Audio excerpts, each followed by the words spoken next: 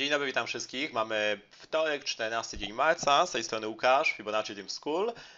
Tym razem sprawdzamy parę walutową funt do jena. Dawno tego instrumentu nie sprawdzaliśmy, a tworzy się bardzo ciekawy układ harmoniczny, układ geometryczny właściwie. Yy, Jeden do jeden, korekta yy, prosta, korekta płaska, dlatego że te szczyty one są bardzo blisko siebie, więc tak naprawdę tutaj nazewnictwo, nomenklatura nie jest aż, tak ważne, jak ten klaster, który widzimy w tym momencie.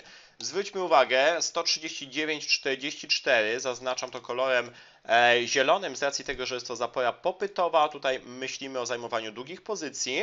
No oczywiście muszą nastąpić odpowiednie przesłanki, czyli wyhamowanie. Z góry mówię, że nie będę łapał tego spadającego noża, czyli dokładnie nie biorę tego pod uwagę tej świecy, która cały czas wybija nowe minima.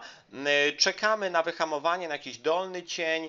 E, Myślę, że nawet jakaś dywergencja może się też pojawić, jeżeli będzie wyhamowanie, czy też jakaś formacja klina, ale generalnie to wszystko ma nastąpić w tym rejonie.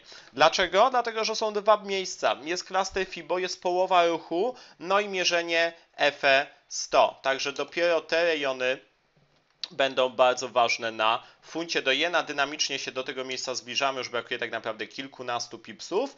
Na interwale 4-godzinowym, tutaj najbliższym oporem, cały czas jest ta największa korekta, czyli cały czas ten ruch, no i mierzenie EF100 to bardzo szerokie, czyli okolice 140,81. To jest jakiś tam docelowy poziom, a, poziom, aczkolwiek staje się on bardzo odległy na chwilę obecną, ale geometria, o której w dłuższym terminie warto pamiętać.